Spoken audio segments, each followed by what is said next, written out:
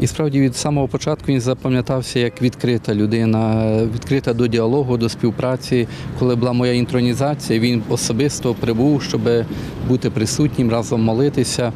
І потім інші зустрічі, які ми відбували, справді він старався так виважено підходити до різних справ, не раз навіть до важких якихось справ.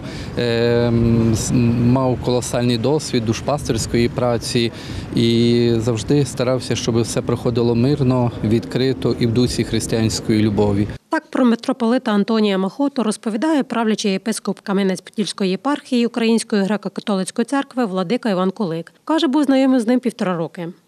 Титулярний єпископ Дунаєвецький, настоятель храму Різдва Христового Марк Гринчавський пригадує. Які б не були обставини такі гострі, конфлікти ставалися, от у владики можна було повчитися. Владика міг це розкерувати. Він для мене залишиться дійсно люблячим духовним батьком.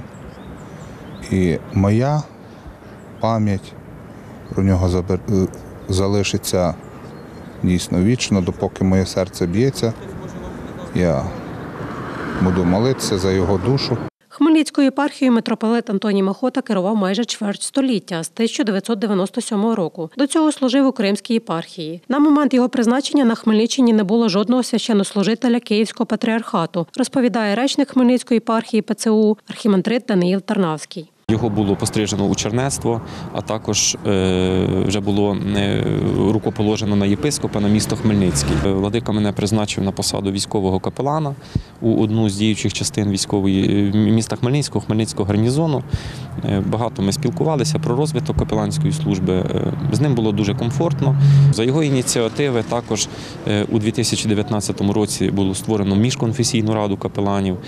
Ми сьогодні бачимо, що владика Антоній е, він був е, тією особистістю, яка е, часто густо не звертала на релігійні рамки, на рамки конфесійності. Завтра, 26 березня, у соборі Андрія Первозванного відправлять літургію та відспівування архієрейським чином за участі митрополита Епифанія. Тіло митрополита Антонія Махоти обнесуть довкола храму та поховають у крипті біля кафедрального собору. Додає архімандрит Даниїл Тарнавський. Леся Боровець, Олександр Горішевський. Новини на Суспільному. Хмельницький.